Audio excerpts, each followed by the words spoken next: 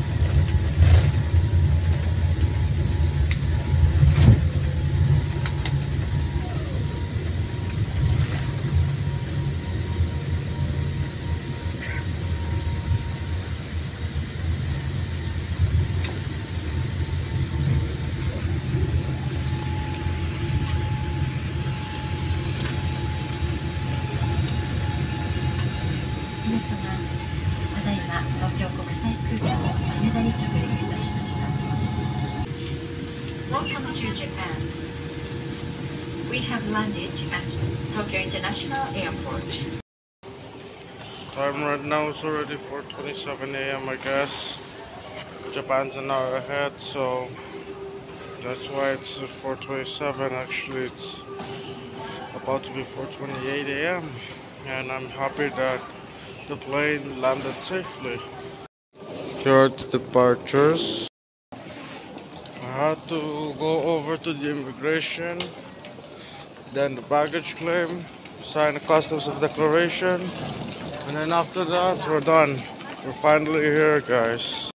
This is how their hot chocolate looks like. Nice. Right now, we're to travel by plane. First, you go buy a ticket. They do this. And that's all for today, guys. Like and subscribe. Bye.